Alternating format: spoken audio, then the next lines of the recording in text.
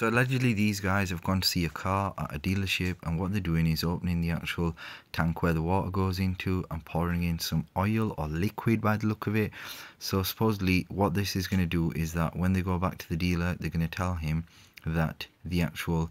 car has an oil leak and you can see that the oil leak is in the water expansion tank and then they're going to get the price reduced because the dealer's got so many cars he's not really maintaining all each each individual car checking on them regularly so they can get away with it at this. Don't fall victim to people like this. Always monitor whoever you bring out to see your vehicles guys